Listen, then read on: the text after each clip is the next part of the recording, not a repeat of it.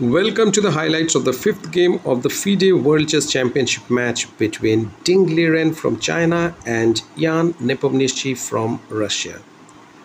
At this point, the match is evenly poised with both players having two points each. The winner of this game will take the lead in the match, which is a 14 game match. So, this game is very important. White is Nepomniachtchi, black is Ding Liren. White started with his favorite move e4 and after e5 we have the Ruy Lopez opening which we had in the first game of this match.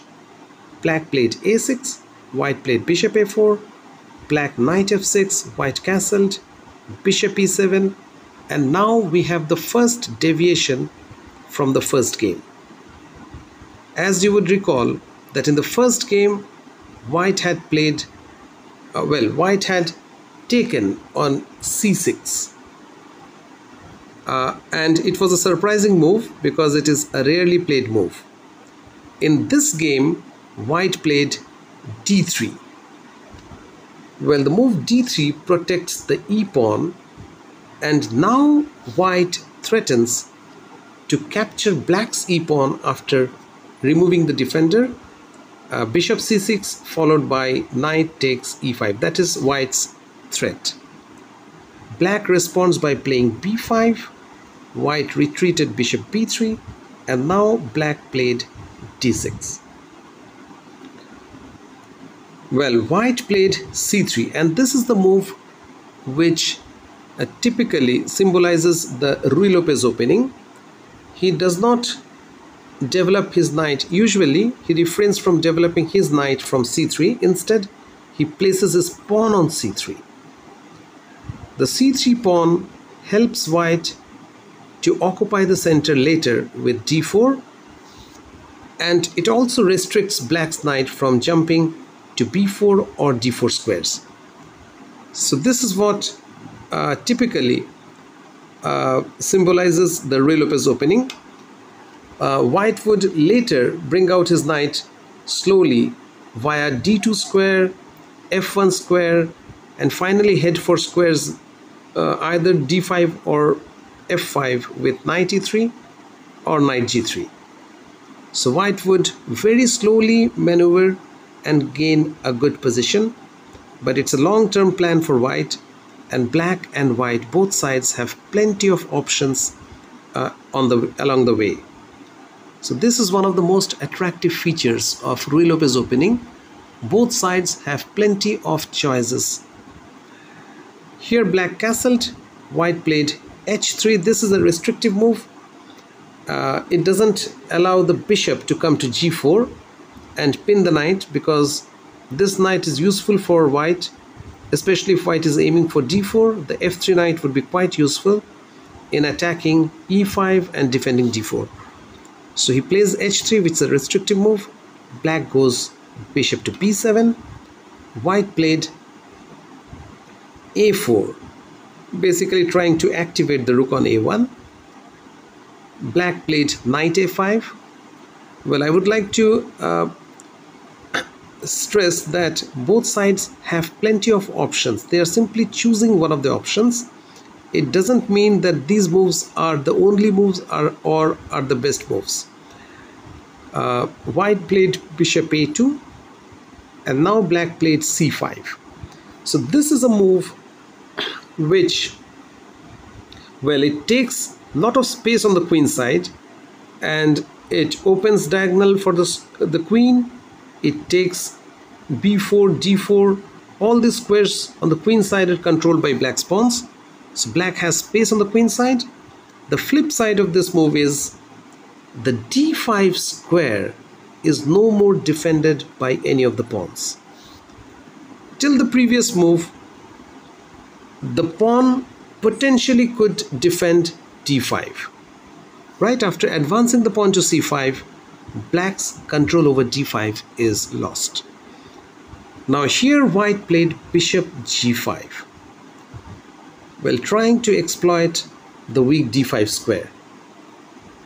Surprisingly, this position had been played previously. Last year, uh, the Iranian chess prodigy Alireza Firouzja had uh, obtained exactly this position where he played knight to a3 so technically bishop g5 is the first move uh, which had never been played by any player in the past. It's a novelty but it's a very normal move. Black played h6 chasing the bishop and white exchanged the bishop for a knight. This is not the first time in this match where we have seen Ian Nepomniachtchi exchanging his bishop for opponent's knight. Uh, here white will try to prove that the knight, the extra knight which he has is more useful than the dark square bishop of the opponent. And uh, well, black will try to prove vice versa. He will try to prove that bishop is better than the knight. So it's a very interesting imbalance. And to understand this position better, let's move on to, to this position and see what exactly white is trying to achieve and the position which black typically has to avoid. We have removed all the pieces from the board and we have kept the same pawn structure with the exception white has a knight on d5 which cannot be driven from this point. There is not a single black piece which can push back the knight or offer exchange with the knight. And black has a bishop which is restricted by his own pawns. So look at these three pawns. They are of the same color of the bishop. So both bishops and pawns are performing the same job of controlling dark squares. The light square uh, on d5 is left unprotected. Now, how is this position? White is almost winning in this position because the knight is very powerful, the bishop is bad, but it's not sufficient to have a good knight against bishop. White should typically try to provoke a second weakness and attack the second weakness. So here the best move for white may be to play something like knight c7 attacking the b pawn and when black moves his b pawn white can basically capture either b or d pawn with his king and knight. He can pressurize these pawns and finally he can win one of the pawns. So the lesson from this position is that in order to win, one must have uh, not only one but two weaknesses uh, to attack. So this is important from this uh, the main game's perspective because as we shall see that white later created a second weakness and managed to uh, break through. Okay, back to the game. The position after 14th move in the game between Ian Nepomniachtchi white and Ding Liren black. Well, we had this position. White took AB, black took AB, and now white developed his knight. Black played knight c6. Well, in the previous game, we had seen that Ian had a knight on the edge of the board, and finally he had an inferior position so Ding, this time he centralizes, he brings back his knight quickly. Having said that, in this position, I feel the move d5 might have been a better move. It eliminates uh, the weakness of d6 pawn and basically black tries to storm white's center by playing a move like c4 or d4. So this would have been a very nice idea by black. Uh, however, after moves like ed and exchange of these bishops on d5, white might still try to prove that his knight is better than black's bishop on f6. But the game would be very close to equality. Instead, black played knight c6 white went bishop d5 and after the exchange of this rooks black played queen d1 white went rook e1 this move basically vacates the f1 square uh, for the knight. The knight from here would later be deployed on g3 or e3 depending on the position. Well black played rook a8 attacking the queen. And the queen went to a very nice square that is d1 from here the queen would basically aim on the king side or go to b3 depending on the situation. So d1 is a nice square for the queen. And now we have a very instructive move by black. Uh, although there were players who didn't like the move bishop d8 but this move does have a plan of activating the bishop on this diagonal. So one of the ways how we can activate our bishops is by putting it on a good diagonal and advancing the pawns to clear the way for the bishop. So black's idea is to put the bishop on b6 and then advance c4 clearing the diagonal for the bishop. Here, well, white played knight f1, black went knight e7 challenging this powerful b7 uh, d5 bishop. White exchanged and put his knight on e3 now we have a typical scenario where the knight finally targets the dream square which is temporarily defended by the black knight but white is inching towards his main objective which we had seen. Now black played bishop b6 all according to plan. And here white played a very instructive move which I had discussed earlier that a weakness one weakness is not always sufficient to win in chess. So we have to create an additional weakness and then attack on two fronts.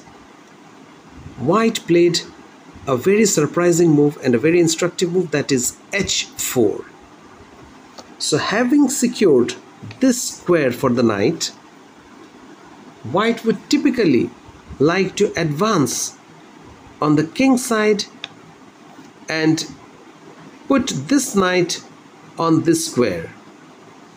That way he would like to remove the e7 knight to exchange the knight and then finally post his knight on d5. That is his first idea. And the second idea, of course, is to try to create a second target of attack on the king side.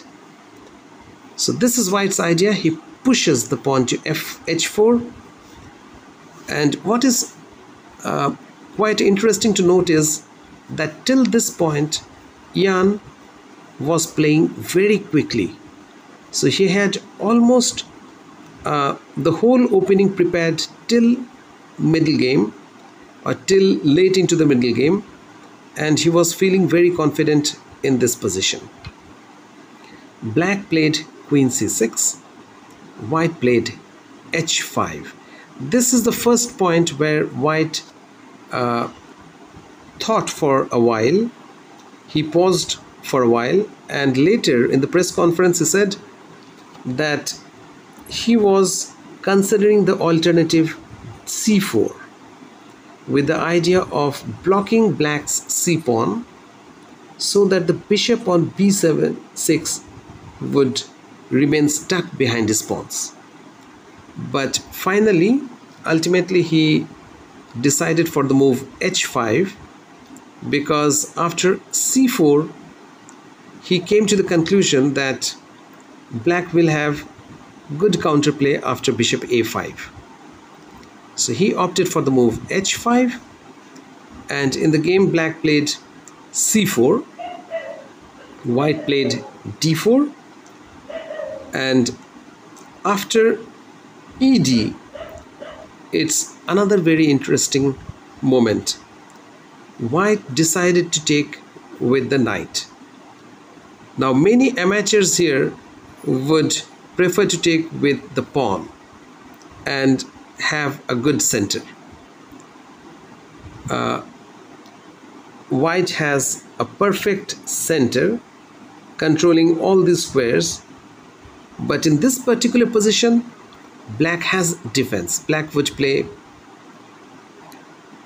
bishop a5 rook e2 and a very instructive move that is d5 so we see that this bishop few moves back was stuck behind pawns uh, which were on the dark square on the same square of the bishop.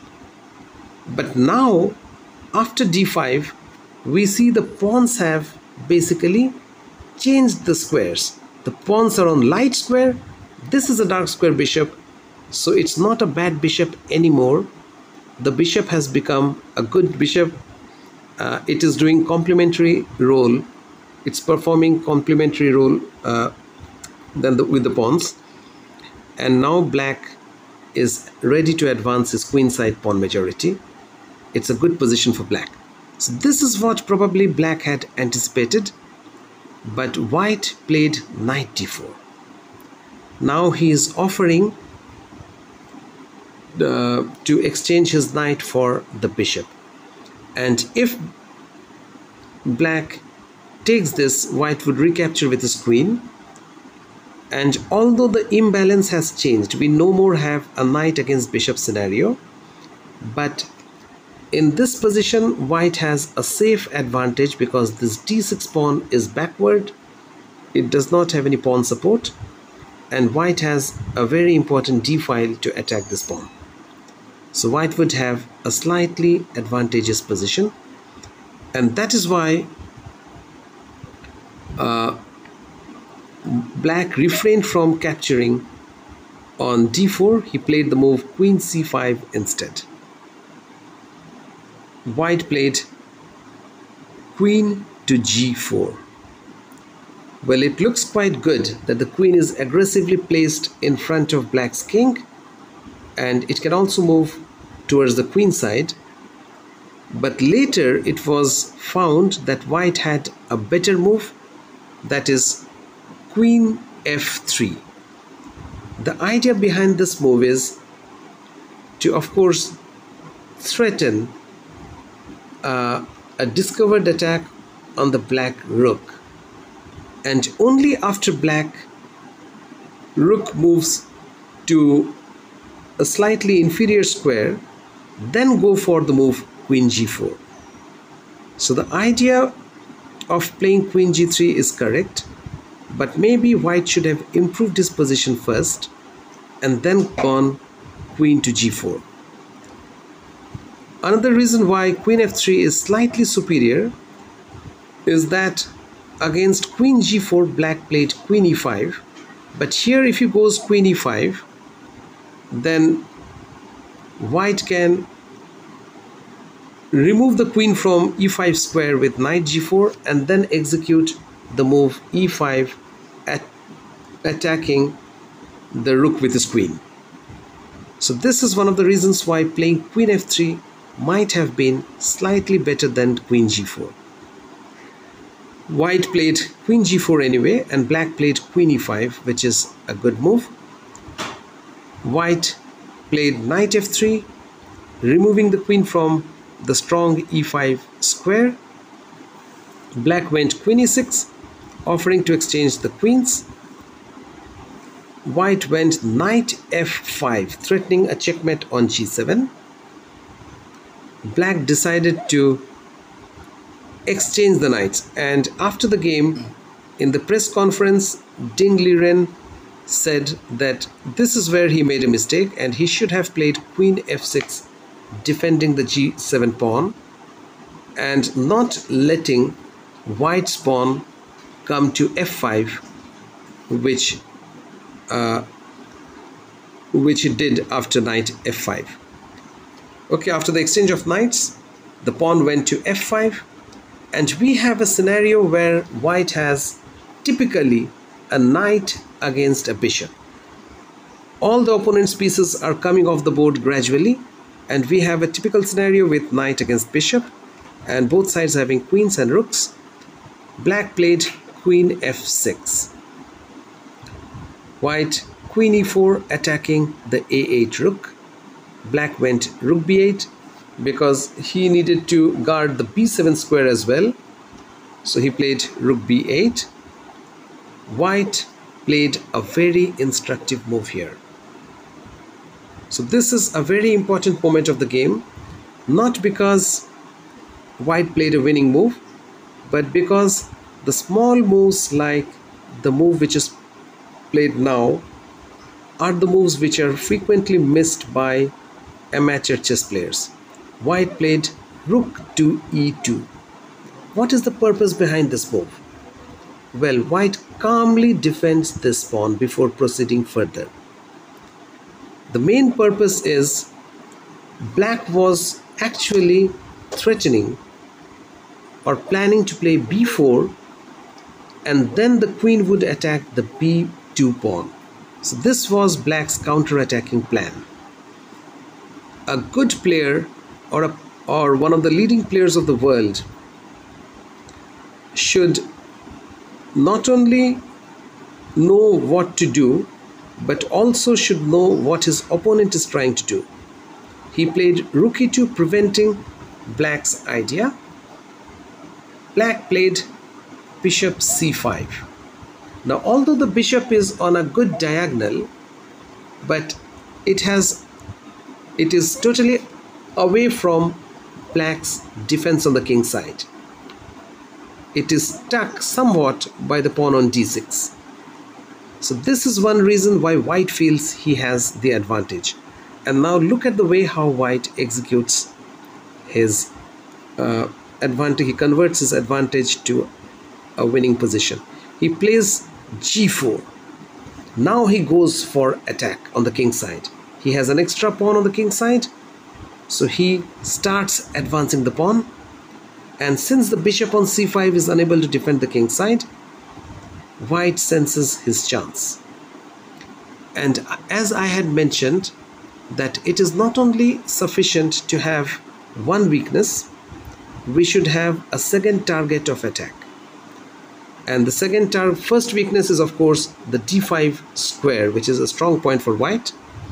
The second weakness is the possibility of attack on the king side black played queen d8 white went queen d5 well black played king f8 now black is somewhat he's trying to defend is moving his king away from uh, the pin of this pawn he doesn't have many active ideas anyway. And now white played another preparatory move he played king to f1 and commenting on this game one of the strong players like uh, who was commenting anish giri he said that these are the small moves which actually ensure victory and quite often missed by uh, the weaker players.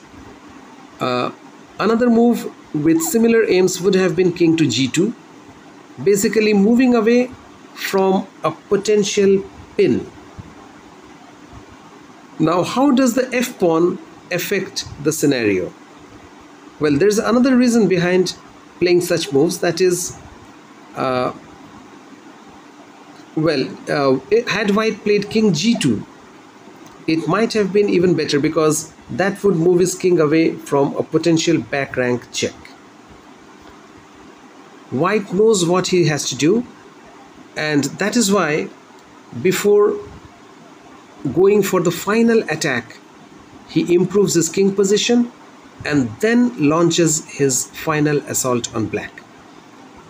Black played rook c8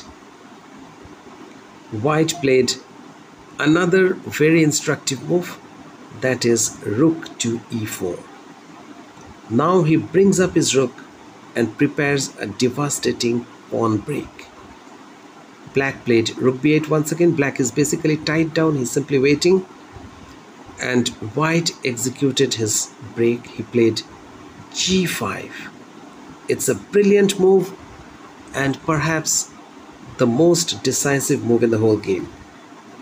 the idea is to break open black's king side. Black already doesn't have control over the d5 square which is occupied by the queen so he uses the second weakness to break through. Now the purpose, the tactical justification behind this move is if black takes hg5 which he did white would play rook g4 with the aim of putting his knight on g5 and attacking these squares. If black plays the most natural move that is f6 to defend the pawn, white is a pawn down, but he has a brilliant resource knight h4. The idea is the knight would land on g6 and deliver a decisive check against the king. Note that these squares are controlled by the queen. The point behind knight h4 is that if black captures gh4, white would play h6. White is a piece down, he is a pawn down, but he finally achieves the decisive breakthrough. He would play hg7 or h7 and the pawn would promote and the king would be subjected to a mating attack. Now if gh6, white has a couple of ways to checkmate. Either he can play queen g8 check and rook g7 met or he can play in this position rook g8 check first and queen e6 checkmate. So this was White's brilliant idea when he played rook g4, g5 and rook g4. He sacrificed a pawn with the intention of sacrificing another piece and checkmating black. Black played rook a8. Perhaps this is the best defense. He wants to play rook a1 check and he wants to move his queen to a8 somehow trying to get rid of the queen on d5 black white captured the g5 pawn black played this move here white has to play king to e2 the point behind black's defense was that had he played king g2 black would have played queen a8 exchanging the queens and somewhat resisting. Although even here white would have won but this was black's main idea. So white avoided that idea and played king e2 where I mean from queen a8 black would have aimed to to exchange the queens but now the queen on g5 will not be pinned. So he played king e2 black played queen e7 check. White covered the check with his knight.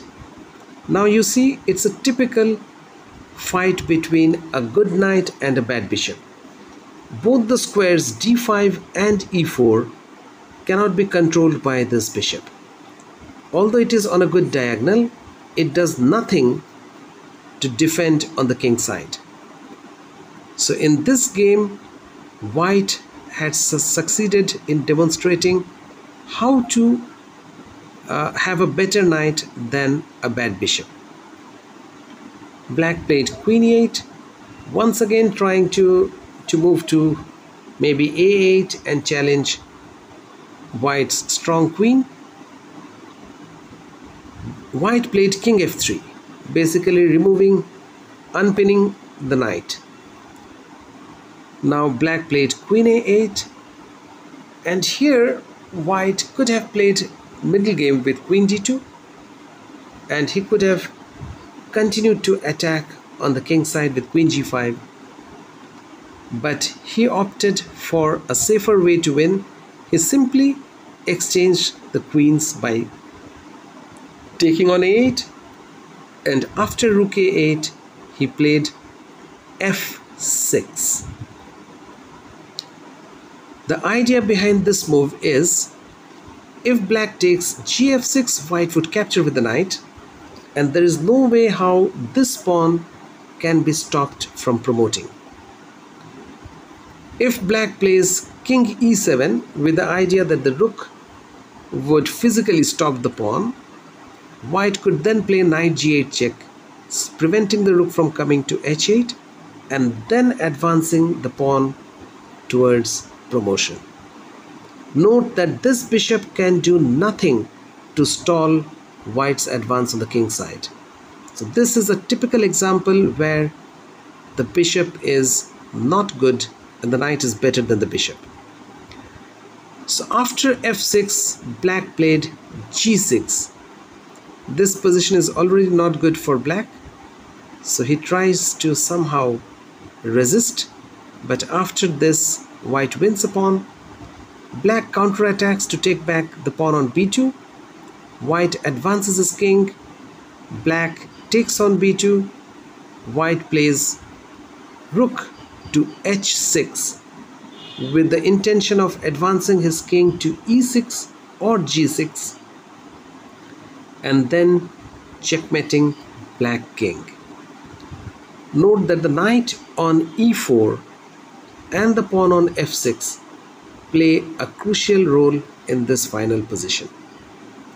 In this position, unable to defend against white's idea, if black takes bishop f2, white will simply play check and advances king and finally he would play knight g5 or knight d6 checkmating the black king on f7 therefore after rook h6 Black decided to give up. Black resigned, Ian wins. Once again, the Russian Grandmaster and world number 2 Ian Nepomniachtchi takes lead in the World Championship match.